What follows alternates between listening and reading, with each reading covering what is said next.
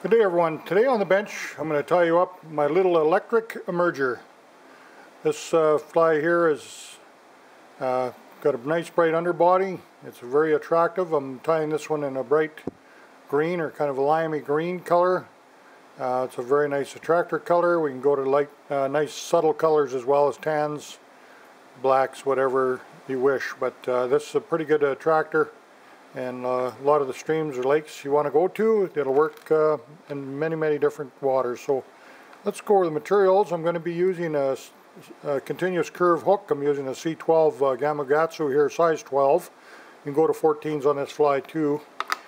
And uh, for the tail and the legs I'm going to use some uh, partridge hackle off the skin.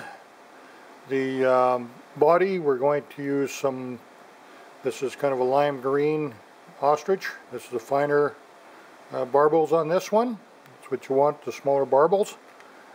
The wing, we're going to be using some, this is clear uh, crystal flash, the midge flash is very small.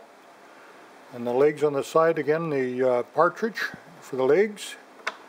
The uh, thorax, I'm going to use some uh, peacock herl, one strand of that. And um, also, what do we need? The floaties to make it uh, behave right where we're going. We want some of these floating styrofoam balls and we use a spawn net. This is what the steelhead and salmon anglers are putting their roe in and so forth. So that works good on some flies. I've done the old booby style, started with that and, and so forth. So here's a really nice little fly. Let's get to tie it on the bench, have a look. Oh yes, and uh, another one of the ingredients you want is pearl or opal uh, flash uh, tinsel in the bottom. That's what gives it, why I call it the electric emerger. It's got a really nice underbody, very attractive. Sometimes we need to give them something weird to look at or something really different. Here it is don't want to go too big or too gaudy. This is still got a little bit of that bug, buggy appearance in it still. So we'll tie our envelope, our little foam bead, or styrofoam bead inside the, the netting and it ties really nice and slender down here. I'll get a couple turns the front, a couple rounds the bottom. It'll move around a little bit, that's okay. You can put some cement on there, but I wouldn't bother with it. It's just basically going to keep it up where we want it in the in the water column. This is going to fish just below the film. You'll see just that little bit of that foam sticking out. So now we'll come in with um, partridge. We got a little. Some of these tips here aren't. They're a little too fuzzy. I want some nice straight tips the tail. Pinch off a few from the side here, make sure the tips are lined up nice. Catch them in at the end here. There we go. Wrap the butts down. Then I come to the rear here. We'll take one of our barbules off the ostrich. This is small, very thinner plumes. You want to check for that when you're doing these smaller flies. Then we'll go in with pearl uh, tinsel here, or mylar. Find the end of it. There we go. Bring out the camera and then everything goes wrong. You know that goes. I'll just wrap that along the, the body. And I'm using some olive 8-aught thread. And it gives me under this pearl, it still gives me some of that olive coloration. So I'm just going to wrap the pearl over top and you still see the olive underneath it quite well but it's giving it that nice sheen. Go to the opal you kind of lose that. It kind of covers that all up, it gets pretty bright.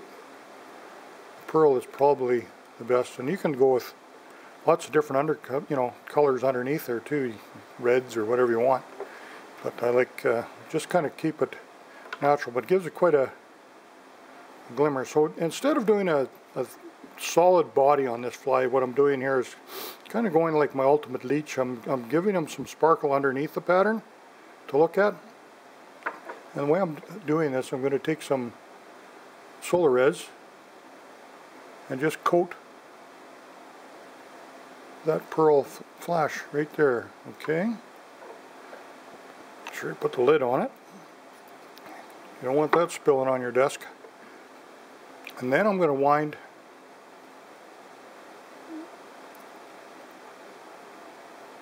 my uh,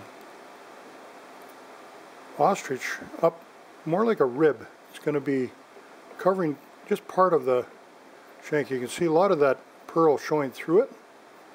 Gives it a really nice gill effect. It looks really nice in the water. Tie that off right there. Hit that with my lamp. And we'll just cook that on. But see the body on that? It's really, really nice. I call it my electric emerger. Isn't that pretty cool? Now we'll uh, come over the top with a little midge flash. This is just a pearl or white, whatever. This is really nice for small flies. And that'll kind of, that'll peek through the top of the pattern a little bit. I cut it quite short. It's an emerger, we don't want to get too long, but it'll just kind of peek through the bottom just a little bit. Now, I need um, some partridge for my legs. We'll grab a partridge feather here, we'll get rid of the uh, fuzz on the bottom. On one side of the feather here, we line our tips up, grab that, pinch them off, and lay that on the sides. Now we come on this side, same thing. Measure, measure that up lay it on the side. There we go.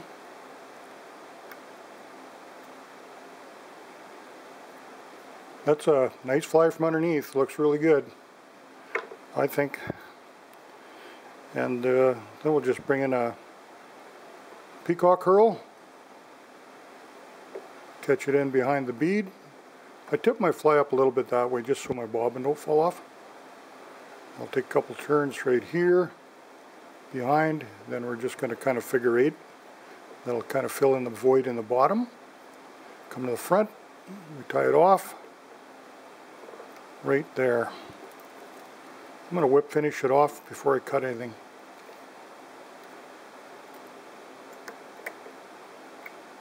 There we go.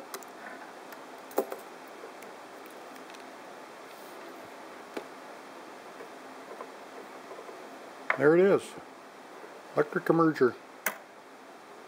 That little creature right there will spook up a lot of fish for you. Let's give them something different.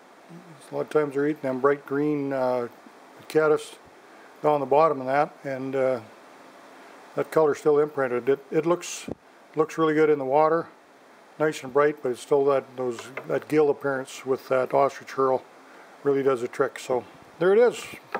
Hope that'll help you out a little bit, get you some nice fish in the boat, and uh, hope to catch you again real soon here on Sports Fishing on the Fly on the Bench. We appreciate you watching.